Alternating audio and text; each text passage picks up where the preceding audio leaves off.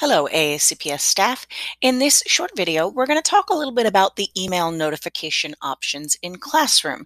This is the area that you can customize when you click on your hamburger menu here in the upper left and scroll all the way down to the bottom and choose settings here. So after you choose settings, what you come to is a page that is almost entirely dedicated to choosing the notifications that you might want to see. So right here under the heading notifications, it has the option for receiving email notifications and by default, this will be turned on. If you don't want any email notifications from Classroom at all, ever about anything, what you're going to want to do is come here, click that slider and turn it off. You're done. You don't even have to click a save button. You will not get any emails from Classroom about any activity going on. However, there are some great ways to customize your notifications so that you only get emails about the things that you want to. So in this video, we're going to kind of unpack some of the things that you can choose to be notified about. So let's take a look at the headings that come underneath of the notifications option there.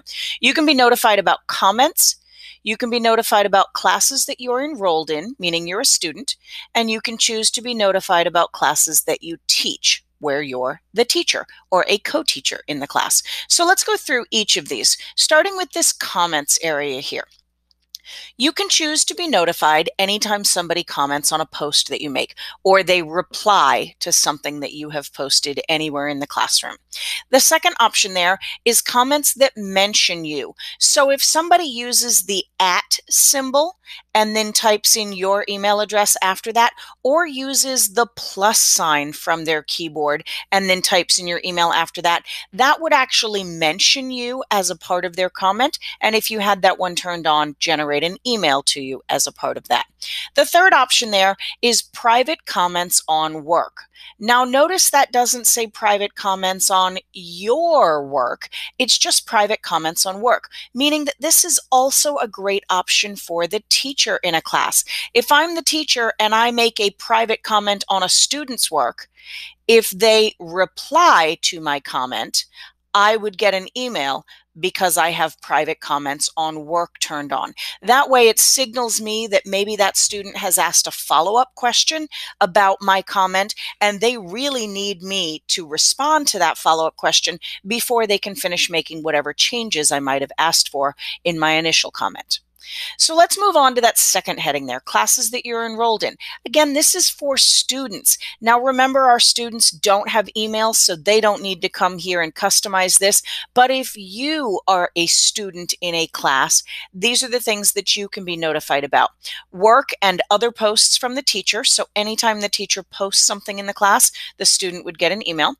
Returned work with grades from your teacher. If you are ever engaged in any sort of um, digital learning opportunity where the platform being used is Classroom, you might want to know when your instructor has returned something for you or given you a grade on something.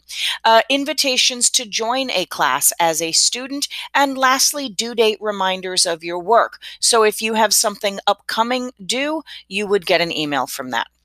Let's turn our attention there to that last heading, which is classes you teach. You can be notified if a student submits something late. This may be important if you have policies about uh, points being deducted after due dates, or if you want to contact a student who's maybe been um, a little bit uh, consistent in turning things in late recently. Resubmissions of student work. If you have any concerns about students unsubmitting their work and continuing continuing to work on it after the due date, note, being notified when they resubmit something can help you keep track of what your students are doing. You can be notified if you are invited to co-teach a class. And then lastly, if you schedule a post to go out at a later time. So let's say I schedule my assignment to be posted at three o'clock this afternoon. If that scheduled post fails to go out at three o'clock, I can be notified about that. So those are your options for classes that you teach and classes you're enrolled in, as well as any comments. Let's turn our attention to this last heading down here at the bottom. That is class notifications. And it says that we can turn email and mobile notifications on and off for particular classes. And over here on the right-hand side, there's just this little drop down arrow here. So we're going to click on that. And what's going to pop out is every single class that I either teach or that I'm a student in. These are just all of my classes.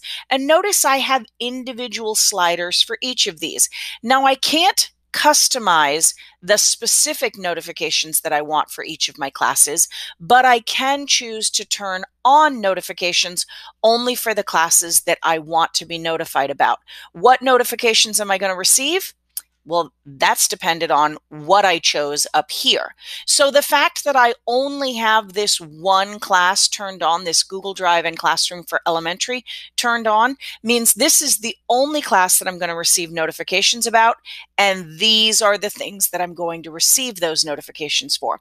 So if you have, let's say, four or five classes in which you're the teacher and you have students in them, but maybe you're also enrolled in a Google Classroom for your PLC Maybe you're enrolled for your IDT team, your grade level team. Maybe you are taking an evening course where Google Classroom is being used. You can come down to this bottom portion of this settings area and turn on and off notifications for classes that you might not want to see and only focus on the ones that you really do want to see notifications for. So I hope this helps you guys understand better how to manage the notifications that you're getting from your Google Classroom.